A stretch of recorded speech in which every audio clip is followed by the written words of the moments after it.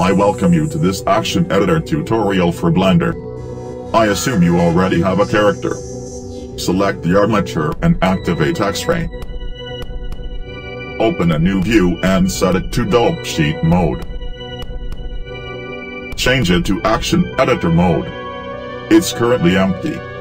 Create a new action. Name it walk cycle.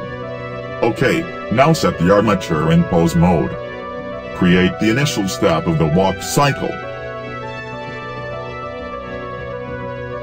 I have set the first pose. Now, on frame number 6, I will create the second pose. The second step will be done directly in the action editor, where we can copy and paste the keyframes.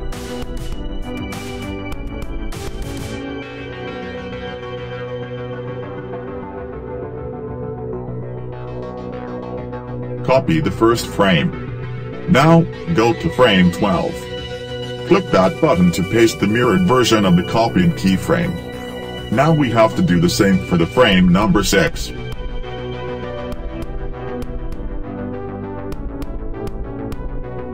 To make this action a cycle, copy the first keyframe and paste it on frame 24.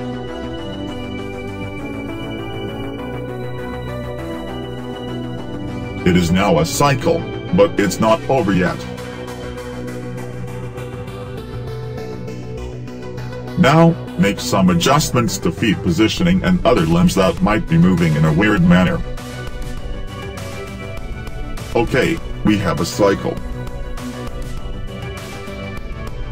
Now, click the little F button. This will save the action, even if it's not being used. You can stop editing by clicking the little X button. The action will still be there. My next tutorial will teach you how to use these actions to animate much faster. I make quick tutorials almost every day. Like this video and subscribe.